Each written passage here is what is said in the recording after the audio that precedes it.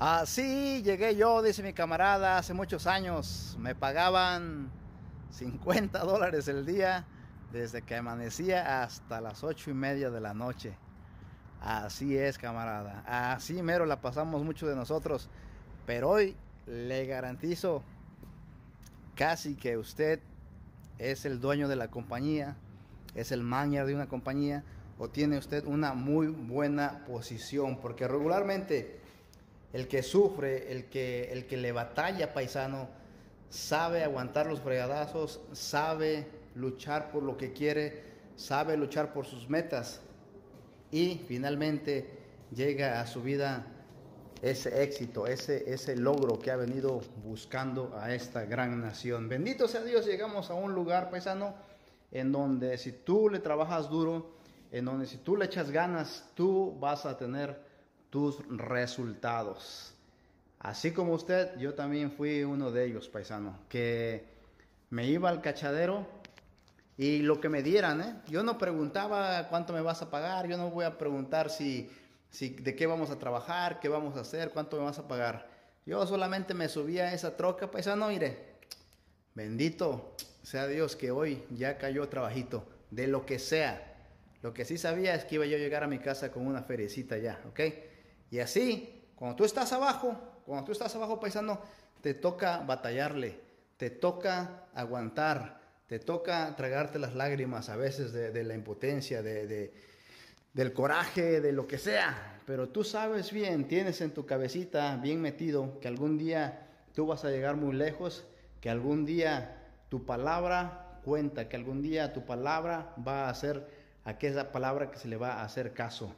Pero solamente si usted se aferra, solamente si usted de veras le entra con ganas a la vida pesando. Por eso a mí me da mucho gusto la gente esa que llegó por ahí de los de los noventas, por ahí de los de los noventas, de eh, más para acá o más para allá, los ochentas, esa gente que venía a lo que venía, venía venía a Estados Unidos a trabajar, venía a Estados Unidos a echarle ganas, venía a Estados Unidos a cumplir ese sueño que nos decían que era el sueño americano, ¿verdad? Ese tipo de generaciones hoy en día son los patrones, son los dueños de las, de las compañías, son los que mandan, son los que se les obedece, aquellos que aguantaron. Pero hay muchos que llegan a estas generaciones nuevas y no quieren ni trabajar, paisano, quieren vivir del TikTok, quieren vivir del Facebook, quieren dinerito fácil. Quieren dinerito facilito, peladito, suavecito, no me grites, no me hables fuerte, eh, no me castigues, págame bien, dame de comer bien, trátame bien y a ver si todavía con todo y eso y trabajo. Así, así no se logran las grandes cosas, paisano, ¿eh? No quisiera defraudarte, no quisiera decirte que, que, que no la vas a hacer pero ¿sabes por qué te digo que no la vas a hacer, paisano? Porque en lo cómodo, en lo bueno, en lo bonito y suavecito, no hay crecimiento. En la comodidad no hay crecimiento. Siempre que tú quieras salir adelante, siempre que tú quieras hacer algo, tienes que sacrificar ya sea tiempo, ya sea dinero, ya sea esfuerzo, ya sea trabajo. Imagínate qué perrón sería que yo me acomode aquí en este silloncito y aquí me cayera el dinero, aquí me crecieran los músculos, aquí tuviera crecimiento mental. Nunca va a pasar eso, paisano.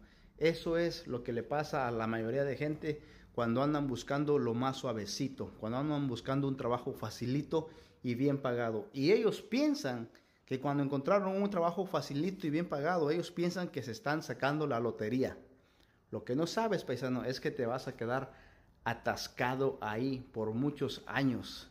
Y no solamente te vas a quedar atascado, sino que no vas a crecer. Cuando te des cuenta, tienes 40, tienes 50 años y no has hecho absolutamente nada.